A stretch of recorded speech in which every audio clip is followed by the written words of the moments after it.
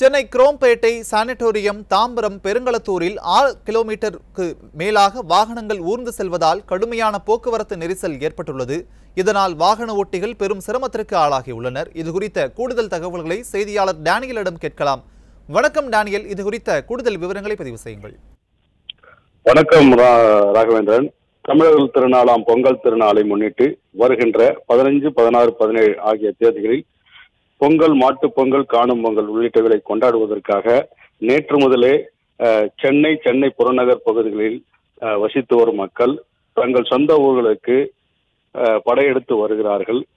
நேற்றைய கூடம் இதே போல அணிவகுத்து சென்ற இந்த வாகனங்கள் இன்றும் அதிகளவு தாம்பரம் குரோம்பேட்டை தாம்பரம் சானட்டோரியம் பெருங்கலத்தூர் பெருங்களத்தூர் வண்டலூர் ஆகிய பகுதிகளில் கடுமையான போக்குவரத்து நெரிசல் ஏற்பட்டுகிறது.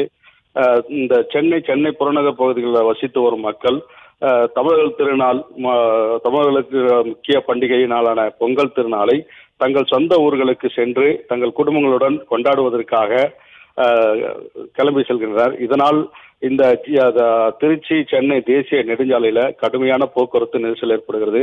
இவர்கள் தங்கள் சொந்த வாகனங்களான கார் மூலமாகவும் அரசு பேருந்து மூலமாகவும் ஆம்னி பஸ் மூலமாகவும் செல்வதனால் கடுமையான போக்குவரத்து நெரிசல் ஏற்படுகிறது. மேலும் சிறப்பு பேருந்துகள் இயக்கப்பட்டு வருவதனாலும் இந்த பேருந்துகளா இந்த போக்குவரத்தானது கடுமையாக ஏற்பட்டு வருகிறது.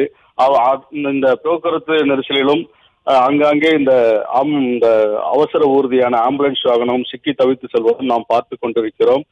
இதனால இந்த சென்னை திருச்சி தேசிய நெடுஞ்சாலை சுமார் இரண்டு மணி நேரம் கடுமையான போக்குவரத்து நெரிசல் ஏற்பட்டுள்ளது இந்த நெரிசலானது சுமார் ஆறு கிலோமீட்டருக்கு தொடர்ந்து நீண்டு கொண்டிருப்பதால் வாகனத்தில் செல்கிற ம- மக்கள் வாகன ஓட்டிகள் கடுமையான பாதிக்கப்பட்டு வருகிறார்கள். இது வருட வருடம் தோறும் இந்த இது போல திருவிழா நாட்களிலும் பண்டிகை நாட்களிலும் இதே நிலைமை நீடித்து வருகிறது. இதற்கு ஒரு நிரந்தர தீர்வு காண வேண்டும் என பொதுமக்கள் மத்தியில் பெரும் கோரிக்கை ஏற்படுத்துகிறது. இதே போல பெருங்குளத்தூர் பகுதியில் கடந்த அதிமுக ஆட்சியில் எடப்பாடியார் முதல்வராக இருக்கும்போது இந்த பெருங்குளத்தூர் பகுதியில் மிகப்பெரிய ஒரு திட்டமான மேம்பால பணிகள் நடைபெற்றது. ஆட்சி மாற்றத்தின் காரணமாக இந்த பகுதியில் இந்த பணிகளானது தோய்வு ஏற்பட்டு நடைபெறாமல் இருப்பதனாலும் இந்த பெருங்குளத்தூர் பகுதியில் முக்கியமாக இந்த போக்குவரத்து நெரிசல் கடுமையாக ஏற்பட்டு வருகிறது.